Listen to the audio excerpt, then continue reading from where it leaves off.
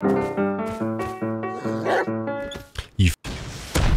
Oh my goodness, Nobo, you're so great at playing piano. Ah, well, not actually. With Rust adding instruments, you can do some pretty cool things.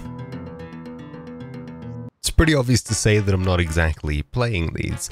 Now, I've got about half an hour left of electricity before my wonderful country decides to cut it off, so I'll try and explain this as quickly as possible.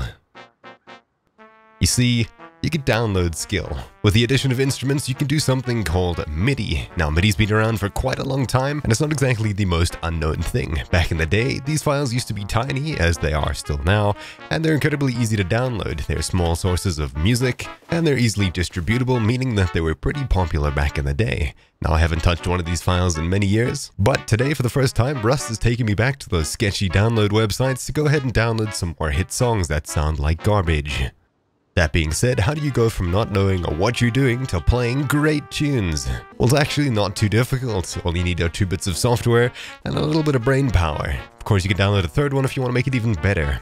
So I've seen some tutorials out there that show you how to do this kind of thing, and I'm basically going to be showing you one of those, however, with a little bit more to it. Again, thought I taught you the first time.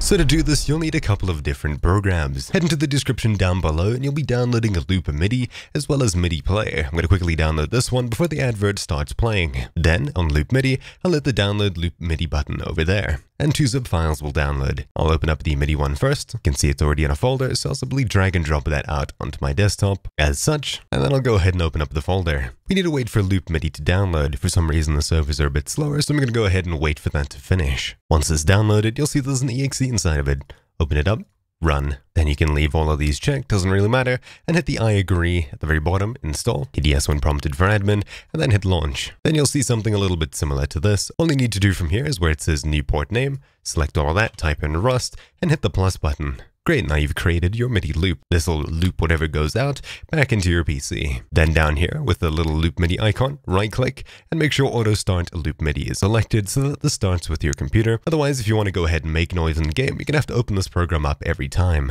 Then open up MIDI player and you'll find a MIDI player.exe file. Double click, run, and you'll see it pops up like this. MIDI text we don't really need, but we need to focus on this bit over here. You can grab and drag it anywhere from this top piece over here and this top one is separate for some reason or another. But anyways, here's what you go ahead and drag and drop your MIDI files into. If I were to simply double click on the song over here, you can see it plays. That's some sort of remix for the song over here, taken right out of Doom. Either way, you just saw me add a MIDI file. Simply drag and drop it from the download folder into this list at the very bottom over here. You can sort by title, folder, etc, etc, and just double click to go straight to them. At the top, you have a little play bar, a little pitch slider, as well as something to change the speed next to it. These ones at the bottom over here won't matter once we're in game. So, of course, you can hear exactly what we're playing. If I hit play, you can hear music. Congratulations, you've got it kind of working. All you need to do is hit this little settings button on the left hand side, and you'll see a window something like this. Simply uncheck use bass, and uncheck use MIDI mapper. So these two at the very top need to be unchecked. Then where it says output port, change that from Microsoft blah blah to Rust. Hit OK, and then hit play, and you'll hear absolutely nothing. That means that you've now ported it into the Rust MIDI pipeline, basically. That's one way of putting it. Then once you're in game, all you need to do is hit this little play button, and your fingers will start moving like magic. You can tab into game, open up chat, you can press escape. Whatever you do, you'll still be playing. This is much better than using your keyboard, and it's impossible to get you banned. Why? Because MIDI is in fact not a cheat, it is something that computers have been using since the 19-whatevers. Basically, MIDI is a pipeline that gets something from a physical musical device into your PC where you can record it and play it back later on. You can make different changes, etc, etc, and it's not a cheat at all. So using a program like this is guaranteed not to get you banned, it doesn't hook into the game, it's just something that music creators use. With that being said, you can go ahead and make as much noise as you want with whatever instrument you can find, with the fear of being banned. So after downloading your first MIDI file, you may put it in game and discover what in the actual hell is going on? This is nothing like the song I tried to download. Well, take a guess what instrument we're playing. That's right, mayonnaise. Now as you may or may not know, MIDI files can comprise of multiple songs. If I go ahead and tab out of the game and change it back so you can hear it, it sounds a hell of a lot more like the song we downloaded. But as you can hear, there's more than just one instrument playing. Now usually this wouldn't be a problem, but the one thing that causes the most issues is in fact drums. Because they happen on one or two keys at the very low end and will end up making the song sound absolutely garbage. So how exactly do you go about fixing that? Well, the simplest way is to go ahead and remove the drums entirely. So to do that, I've downloaded another piece of software, which I'll link below, called MIDI Editor. How exactly do you use this thing? Well, it's pretty simple. All you need to do is drag and drop the song file into here. You can hold control, scroll out to zoom out and zoom in. At the very top, we'll go to MIDI followed by settings and make sure that Rust 2 or whatever you called it is selected under MIDI output. Then hit close, hit spacebar to play, and you should be playing it in-game. Now this already sounds a lot more similar to what it should sound. You'll have to double click to move the playhead, click somewhere up here. And if we play it somewhere here, you can hear exactly what is going wrong. Much like the game, this is just one instrument at one time, the piano, so how exactly do we go about removing the drums? Well, on the right hand side, under tracks, you have a bunch of things here, and you have a bunch of things under channels. Usually drums will be at the very bottom and they'll just be called acoustic grand piano because that's the default name. However, it may be more easy to see them on the tracks page. Usually they'll add the name of the person who's playing the instrument at the time, and the color code will be next to it, or of course they'll just name it flat out something easy to recognize, like drums. So if I hit play now, you can hear it sounds terrible. If I click the speaker to stop that playing, hit the I to stop it showing up on the chart, and hit play again, you can hear it sounds a lot more like it should. There's a dog attacking me, so let's just quickly sort out this issue. Dog sorted out. You can see that it's working a hell of a lot better. Tabbing out. Let's stop playing it. Add the drums back. And you can hear it's completely broken again. Great, so now we know what the source of our problem is. It's the drums. We're playing more than one instrument. So all you need to do is go ahead and click on the drum track and click the little remove track button over there. Boop hit the Control S button to save it, and of course you can play it either through here, but it has some issues recognizing what tempo is, i.e. speed. So dragging dropping it back into this program over here, or even just double clicking on it again to open it up, you should see that it's managed to fix itself.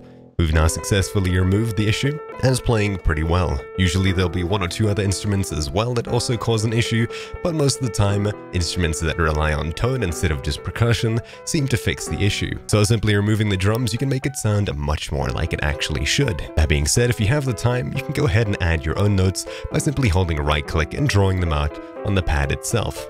Of course, I don't have anywhere near that amount of patience, so I'm just going to download them off of sketchy websites. That being said, you can also do pretty cool things like copying the MIDI file and then removing a couple of tracks so you can get your friends to queue up with you and play some instruments. So hypothetically, you could delete everything here and keep just the guitar with a bass, save it, and then send that to your friends. So say you'll just delete absolutely everything except for the bass over here You'll save the file, send this over to your friend who's playing the shovel bass in-game, and then they'll play these respective chords. Of course, it won't sound exactly like the real song, but you can go ahead and make some pretty cool things by yourself. Of course, my tutorial's not going to go that in depth. This is just the basics to go ahead and fix your songs from sounding like garbage to sounding somewhat like they should.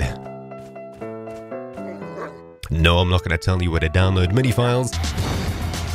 But of course, just by typing in a song name and artist's name followed by MIDI or MIDI download, you'll find your way to lots of sketchy download sites in no time. And that's exactly where you need to be. Something else to keep in mind? If you mount an instrument while playing a song not designed for that instrument, surprise surprise, it's not going to work as you expected. Why is that? Well, because there's a certain number of notes that actually work with these instruments. MIDI is simply a piano like this, and if you click up here, you can move things around. So if I click a couple of these keys up here, you can see that it's sort of capped out, and this entire high range is the crash. Down here is the kick drum, and at a certain point you'll see it changes to these other instruments. So this flat over here is the hi-hat, the snare drum, the hi-hat as well, tom 1, tom 2, floor tom, ride, and also ride. Back to snare for a couple of these, and then over to your crash once again. So of course, if you were to play something designed for any other instrument, you'll see it presses the keys and it's not actually using the right things. So unfortunately, you can't just go ahead and download a drum MIDI pack because the drums may be mapped slightly differently. You'll have to end up writing these yourself using something like FL Studio, or like the program I showed you just before this, or heck, any other MIDI program for that matter. Because MIDI's been around for a hell of a long time, you'll find absolutely millions of MIDI files for every song under the sun, some of them will sound great and some of them will sound rather bad. Of course, another example of removing the drums, here we have Kids with Guns from Gorillaz. If I open it up, scroll down, find drums, delete, save it, and reopen it, you can see that it sounds a hell of a lot closer to what it should. It's all just a matter of luck and a matter of removing the drums, if not a couple of other instruments, from the MIDI songs itself. Once you've done that, you can play just about anything you can get your hands on the .mid file for. So that's about it. That is the complete crash course to making instruments that sound good. My name's been Technobo. I hope this video helped you. Have fun annoying your friends in Rust. Dude, look at this. Look at this bass, bro. like yeah, dude. This is cuck funny, dude. Generally, there's like other shit in the bass, but there's not even there's not even a fucking TC, bro. There's just instruments. what am I doing, bro?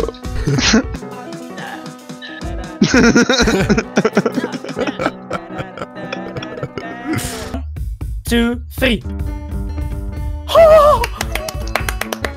Record it, record it!